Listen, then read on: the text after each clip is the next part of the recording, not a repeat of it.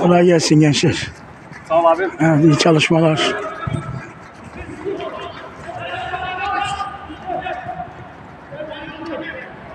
Gel. Kalk. Evet. Evet kendi sahamızda oynayacağımız maçın ilk çalışmaları başladı. Şu anda gördüğünüz gibi e, kaleci antrenörümüz Kenan e, Hoca evet bir köşede Baran'la çalışıyor. Diğer tarafta da çift kale çalışmaları var.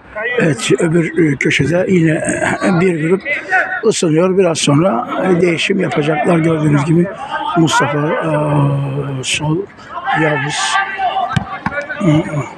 bakıyorum Alperen, yine Ali, Furkan, Gökhan bunlar da ayrı bir grup olarak koşuyorlar.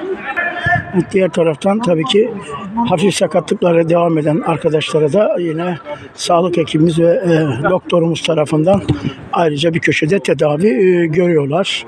Onlar da ayrı bir grup ve e, buradaki grup ise gördüğünüz gibi yarı sahada iki takım halinde idman yapıyorlar. Evet bir e, kaleyi Erdem koruyor. Diğer kalede de Vahit var. Bildiğiniz gibi e, kaptan Salih'in de tedavisi devam ediyor. E, sol baş parmağında bir kırık vardı. Evet bu kırıkta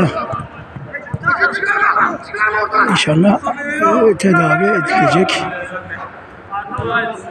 İki haftadır şu anda kaleyi diğer arkadaşlar koruyor. Gördüğünüz gibi çalışmalar devam ediyor.